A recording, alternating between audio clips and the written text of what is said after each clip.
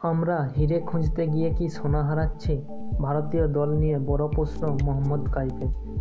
বিস্তারিত খবরে যাবার আগে আপনি যদি ভারতীয় ক্রিকেটের ফ্যান হয়ে থাকেন, তাহলে ভিডিওটিতে একটি লাইক করবেন।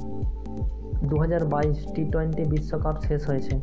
সমস্ত দল আগামী বছর ভারতে অনুষ্ঠিত হতে চলা ওয়ানডে বিশ্বকাপ দু হাজার তেইশের জন্য প্রস্তুতি শুরু করে দিয়েছে। অন্যদিকে ভারতীয় দলের কথা বললে টিম ইন্ডিয়া তাদের ভালো প্রস্তুতির জন্য পঁচিশটি ওয়ানডে খেলবে। দলের প্রস্তুতি প্রসঙ্গে ভারতের প্রাক্তন ক্রিকেটার মোহাম্মদ কাইফ তিনি বলেছেন, আমরা হীরের সন্ধান করতে গিয়ে সোনা হারিয়ে ফেলেছি।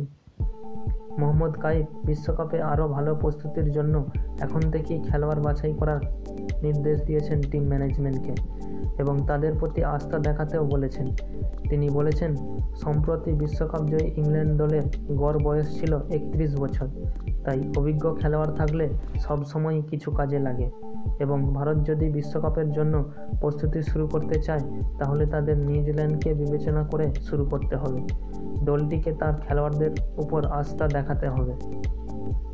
মোহাম্মদ কাইফ ভারতীয় দলের বোলিং নিয়েও প্রশ্ন তুলেছেন এবং ভুবনেশ্বর কুমারের অনির্বাচন নিয়েও প্রশ্ন তুলেছেন। তিনি বলেছেন, মূল সমস্যা হচ্ছে বোলিং।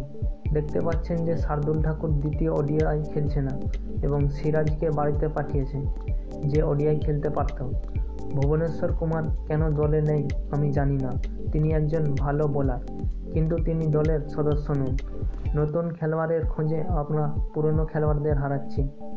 বিশ্বকাপের কথা বললে Bharat, England, New Zealand, Australia, Bangladesh, Pakistan ও আফগানিস্তান ইতিমধ্যেই কোয়ালিফাই করেছে। যদি আমরা বর্তমান পয়েন্ট টেবিলের কথা বলি টিম ইন্ডিয়া রয়েছে এক নম্বরে। টিম ইন্ডিয়া এখন পর্যন্ত কুড়িটি ম্যাচ খেলেছে। তেরোটিতে জিতেছে ছটি ম্যাচ হেরেছে দলের মোট পয়েন্ট একশো চৌত্রিশ। প্রিয় দর্শক, এখন ক্রিকেট আপডেট এ পর্যন্তই। পরবর্তী ক্রিকেট আপডেট পেতে চ্যানেলটি সাবস্ক্রাইব করে সাথে থাকুন। ভিডিওটি শেষ পর্যন্ত মনোযোগ সহকারে দেখার জন্য ধন্যবাদ।